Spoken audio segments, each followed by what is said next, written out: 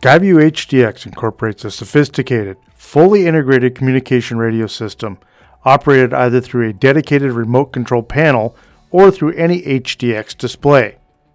This system provides an intuitive user interface, which includes responsive touchscreen capabilities coupled with tactile button and knob controls, optimizing communication radio management and reducing pilot workload during all phases of flight. In contrast to standalone radios, Skyview's communication interface features intelligent frequency selection, enabling pilots to tune frequencies based on airport identifiers, station classifications, or geographical proximity, decreasing manual input and eliminating the necessity for lengthy frequency searches.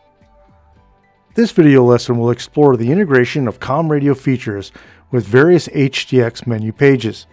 The lesson will focus on how these features enhance operational efficiency and mitigate the workload traditionally associated with legacy radio systems. Building upon previous HDX COM video lessons that address the core functionality and operation of the COM panel module and the HDX menu page. Most HDX users are familiar with what many consider to be the standard screen layout like the one shown here. As demonstrated in other COM radio video lessons, access to the COM radio menu page is accomplished by simply selecting or touching the COM radio status area on the top status bar. From this page, the radio can be directly tuned to desirable frequencies. But there are a variety of ways to use the integrated COM radio feature that don't involve directly tuning the radio. My favorite way to get nearby airport and frequency information is using the nearest button feature. Selecting NRST on the main menu bar will bring the user to the nearest page menu. From this page, there are several options that allow the pilot to push information to the COM radio. The Airport or APT tab will be the default tab. This tab will present to the user all of the airports within a 75 nautical mile radius depending on the filtering the user has applied to the system database. I'd like to take a minute to remind viewers that by selecting Filter on the main menu bar, the nearest list filter can be turned on or off. It is extremely important that pilots understand this filter and its effects on other system features, like emergency glide. For more details on this filter, refer to the HDX Academy lesson on the nearest feature. Getting back to our main topic, any airport on the nearest list that contains communication frequency information can be pushed to the COM radio. By selecting the APT to COM button, the airport identifier will immediately be displayed within the radio status bar and on the COM radio panel module if installed. Once the airport identifier is displayed, all available frequencies associated with that airport will be available through the Rapid Tune button selections on the COM menu page or on the remote COM panel module. Details on those features can be found in other HDX Academy lessons on the COM radio. The next tab within the nearest feature that will interface directly with the COM radio is the Weather or WX tab. This selection will display a list of surrounding airports that are reporting weather conditions and still provides the opportunity to push the identifier of the highlighted airport to the COM. Once again, the APT to COM button is available on the main menu bar. When selected, the identifier will be updated on all displays within the Skyview network.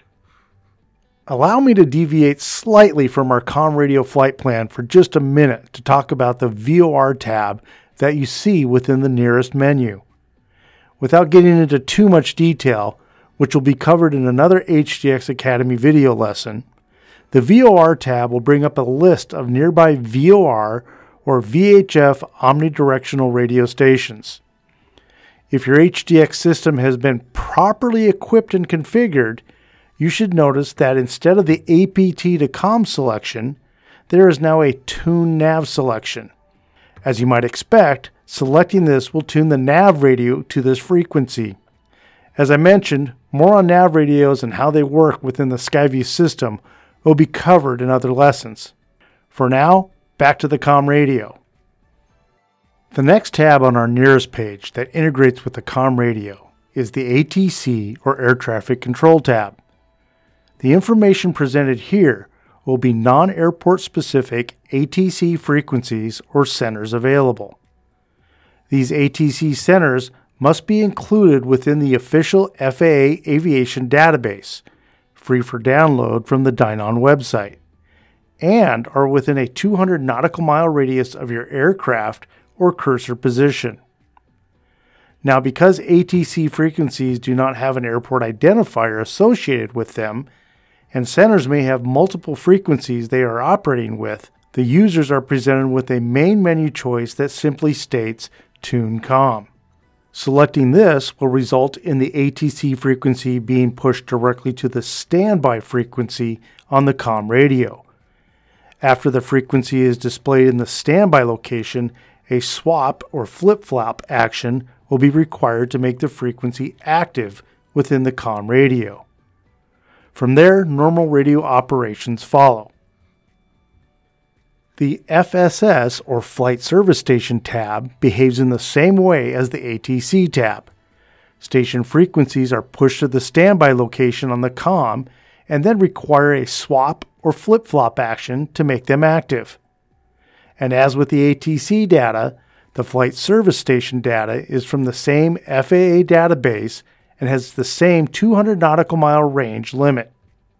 Jumping back to our main menu, the next selection that integrates well with the COM radio is the Info or Information page. Selecting the Info page will present the user again with several tabs. And just like the nearest page, the Airport tab or APT tab will be the default. Highlighted on this page is the Airport Identifier. Typically, the default identifier is the last airport that was searched. From this tab, the user is presented the standard APT to COM selection on the main menu bar. If any of the information windows are highlighted and the APT to COM button is selected, the airport identifier will be pushed to the COM. For information on how searches within this page are completed, please refer to the HDX Academy video on the info button. To the left of the default APT tab is the Recent or RCNT tab.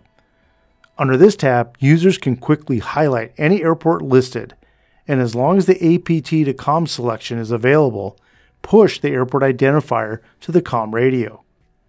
And as I mentioned earlier, if your system is properly equipped and configured, the Tune Nav option may be available. What you won't find here is ATC or center frequencies. The COM tab within the info page presents the user with quick access to COM radio frequencies for the airport displayed in the airport identifier bar. Because the actual frequency is displayed, the user is provided the Tune COM menu option.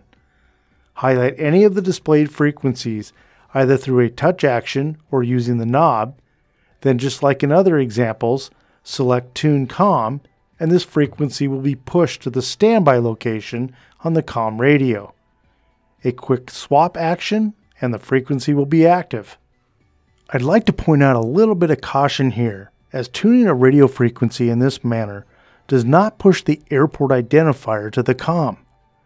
Therefore, the tower, ground, and other rapid tune buttons on both the COM menu page and the COM panel will tune frequencies to the airport identifier that they are currently displaying and not the airport of the frequency you have just pushed. Back to our info page and the COM tab. You may have noticed that some frequencies displayed have a solid diamond next to them.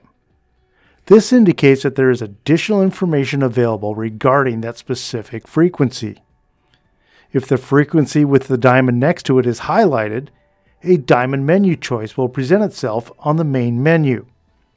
Selecting this will present the user with an additional page of information specific to the frequency at that airport.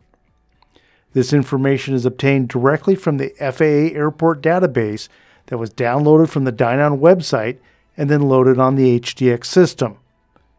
While within this information page, the user can push this frequency to the COM standby by selecting Tune COM. To exit this page, select the arrow on the screen or on the main menu.